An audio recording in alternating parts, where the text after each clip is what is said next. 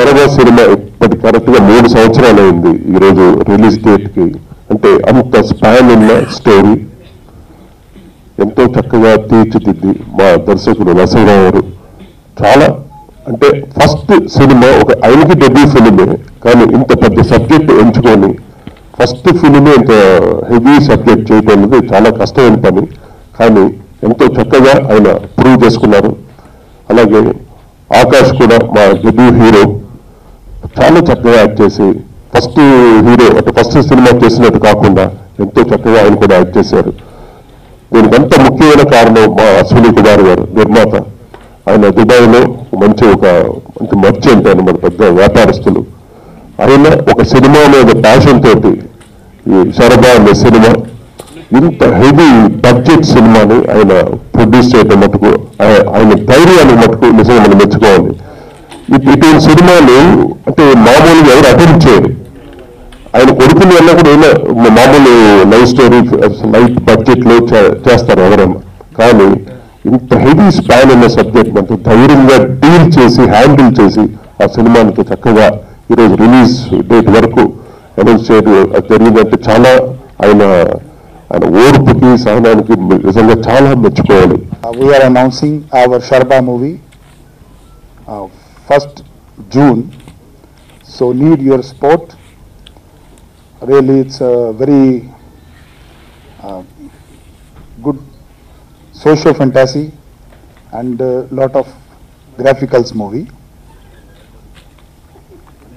Telugu film industry will support me a lot of and I need good blessing for the Telugu audience also. Thank you. Thank you. Okay, so everybody has spoken about uh, graphics and uh, the hard work we put into the movie and the long journey we had in this movie, experiences and everything. So all this results into a great movie which I saw two months ago with Dilraju sir as well. And uh, the movie has turned out to be great and uh, with the blessings and hard work with everyone, the movie has turned out great. And uh, all I want to say is, uh, me andari blessings undari. ధన్యవాదాలు ఈరోజు నాకు చాలా ఆనందంగా ఉంది. ఎందుకంటే నేను ఒక gap తర్వాత మళ్ళీ సినిమా చేయాలి అని ఒక ఆశ ఉన్నప్పుడు ఎలాంటి సినిమా చేయాలి?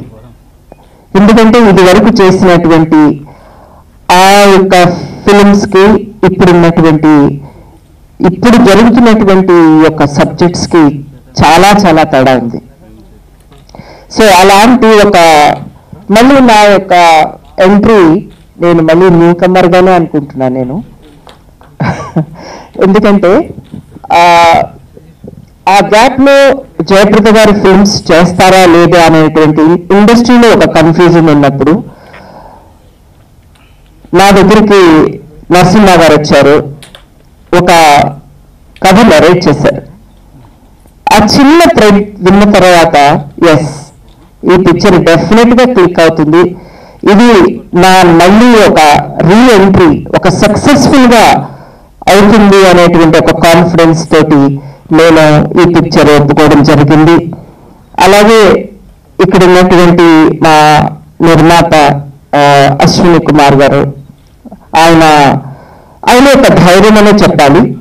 ఎందుకంటే ఇది పెద్ద హీరోస్ తోటి సక్సెస్ఫుల్ ఒక టెన్యూర్ జరుగుతున్నప్పుడు తీయాల్సినటువంటి అద్భుతమైనటువంటి ఇటువంటి ఒక డిఫికల్ట్ సబ్జెక్ట్ని తీసుకుని